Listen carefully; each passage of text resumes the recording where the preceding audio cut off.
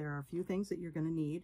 First, you're going to need cards, and you, usually you get square cards uh, with four holes that are evenly spaced around the edges.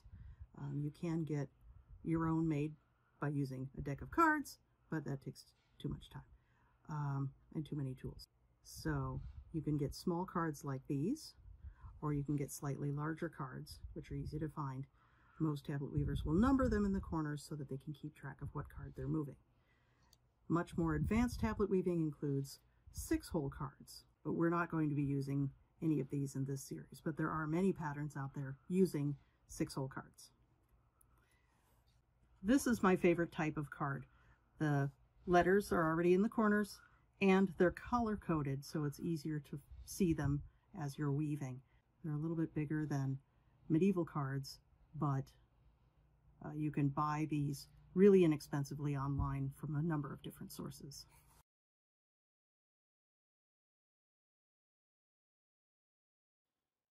So you'll have to pick yarn for weaving. There are a number of different options, and I will go through them right now. The first, this is something not to choose. This is the embroidery floss, the six strand that comes apart. This doesn't work very well for weaving, so while there's lots and lots of different colors of this, this is not a good choice. So I just wanted to show that to you. What is a good choice are other cotton fibers.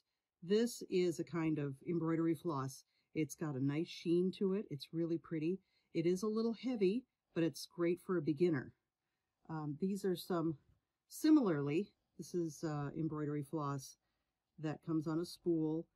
Uh, it can weave up, or you can uh, warp up about five cards on for each one of these, and it comes in a lot of different colors. These ones run about $3 a spool, and it's a nice fine thread. They come in three different sizes, uh, eight, or number 8, number 10, and number 12. I would recommend staying away from the 10 and the 12. They could be a little bit too fine, but the 8 is a beautiful size, and it comes in a bajillion colors.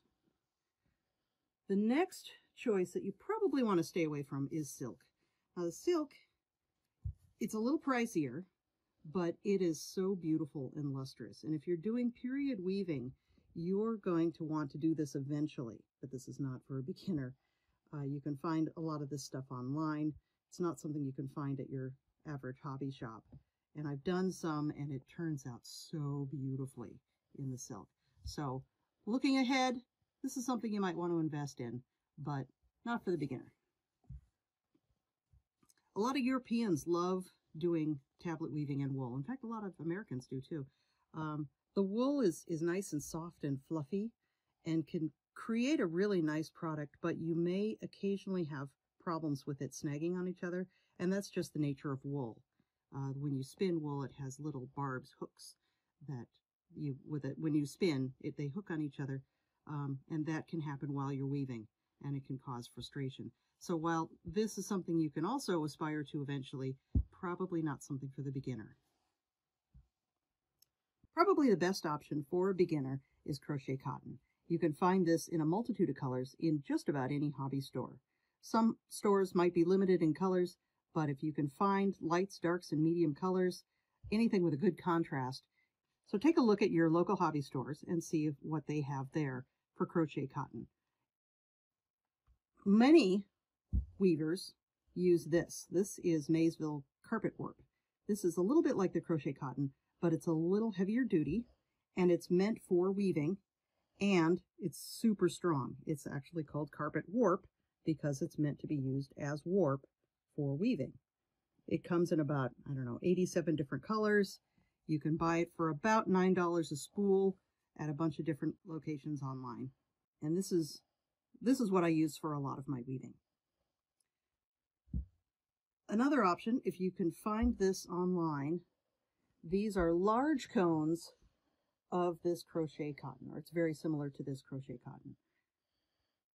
It's also 100% cotton, easy to work with, shiny, comes in lots of colors, and it's beautiful.